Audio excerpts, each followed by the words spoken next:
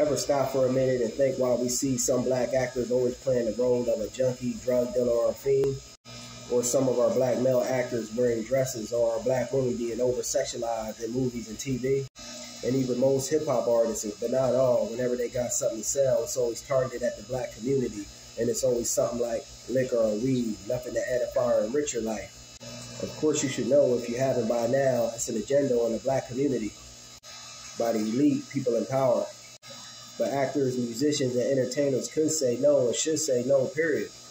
And this is done by design to have us operating on a lower frequency because if you always drunk or high, you won't see the war that's being waged on you right in front of your eyes.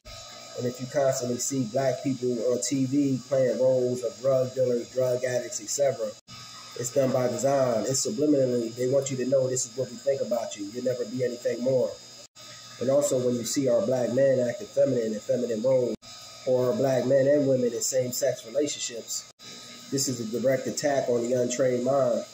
If you constantly show imagery to an untrained mind individual who don't know they're being attacked and the war is being waged on them, they begin to buy into these type of things. It's all a trick and a tactic by white supremacy to keep our people enslaved. They don't do it physically anymore, so get that out your mind. They enslave people now into thinking, the mental slavery.